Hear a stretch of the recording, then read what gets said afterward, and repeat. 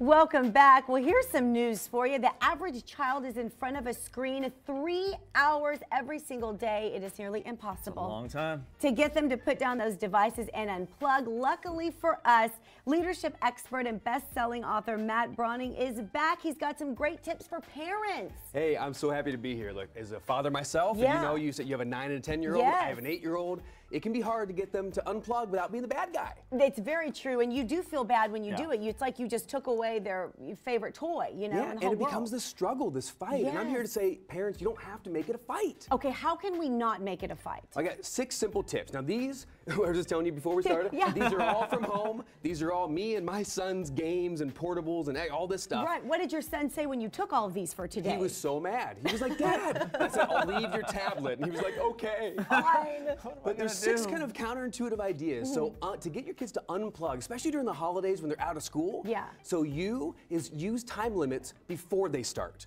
So often parents, you know, you go into the room and say 10 more minutes and then you have to get off. and then it's 30, 30 minutes more, later. and then you're in this fight where it's like, why is it always a struggle? Yeah. So sometimes we forget to set time limits before you start. Okay. So you say something like this. Check out this sentence. Hey, you can play as much Xbox as you want for the next 30 minutes. Then it's time to feed the dog. Okay. You'd be shocked at when the timer goes off. They might even get up and do it themselves, that they move to the next activity really easily. They know it's coming. They know Not it's coming. surprise. It's a lot easier. Okay, that makes sense. N versus is new activities and options. So we want to like come up with more activities than just you know either video games or homework, right? If-. Right. 'Cause what would you else pick? in between. Right, of course I'm going to pick video games. So what do we say instead? I know every mom, every dad has said this at some point. Hey, you've played too much video games, too much screen, so Go outside. go outside.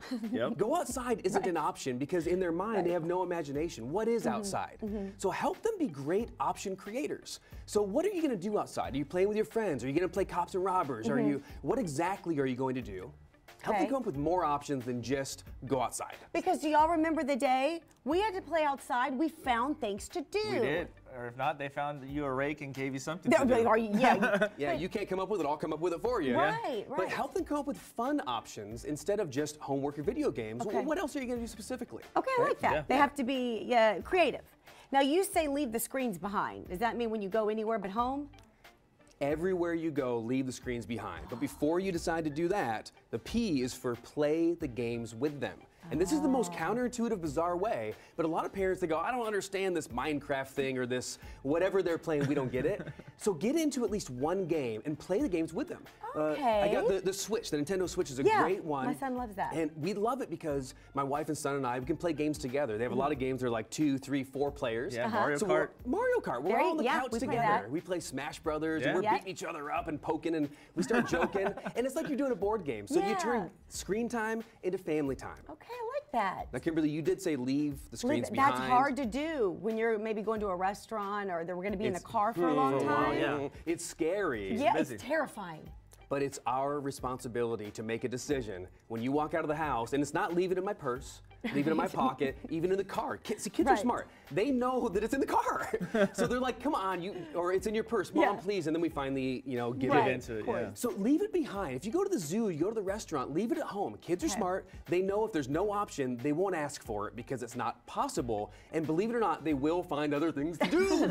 Will they though? They I'm always afraid they might ask for your own personal phone after that. You gotta say no. Yeah. Just gotta say no, You right? can't take the phone. Well, and, and this is an interesting thing too. What if we left our phone behind? Well- what if? Oh no, no, no. This is impossible. That's not even. I, how do I live? how do I survive? But we are the role model. And speaking of role model, the U is for understanding that adult tasks are fun for kids. And this is a really interesting thing, you know, they're, they're fun.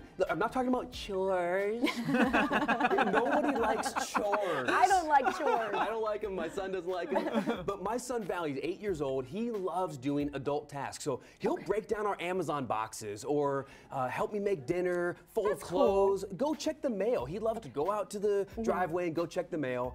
It's fun. It's like kids play grown up. It's They a do blast for like them. that. They feel a little independent. yeah, they like doing s- And more it's things. more things. You, you got to give them fun activities that are different than usual, and it gets them really amped and doing something fun. I like that, Matt. And finally, you say get up and get outdoors. Yeah, the G in unplug is get outside, get outdoors. And I'm not talking about going out to the front yard or the backyard. I mean away from distractions, away from electronics. Even if it's an hour uh, at the park or it's a weekend camping in the woods, man. You know, have you ever taken a kid camping?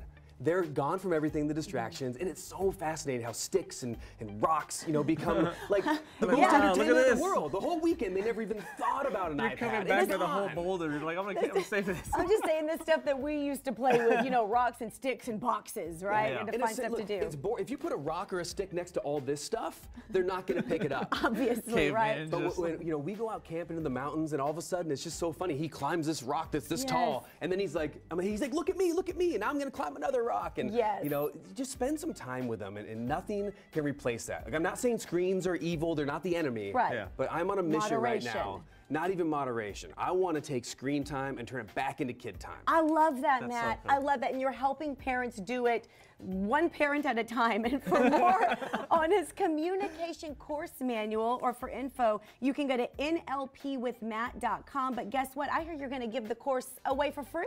Yeah, if you go to nlpwithmatt.com, Okay. I run a, a long NLP online communication course. It's great for parents and really great for anyone to communicate better. And I'm going to give the entire 74 page color manual away for free that goes with the course. You just go to nlpwithmatt.com and grab it. Happy to give it to any parent who wants it. That's awesome. Happy holidays I from Matt. And it's in Merry color. Christmas! yeah, and Merry Christmas. Thank you so much. We love when you're here. Hey, you offer the best happy. tips in the on. world. I wasn't sure how to handshake I don't anymore. I go there. Here, I wanna- does everything you wanna work on that?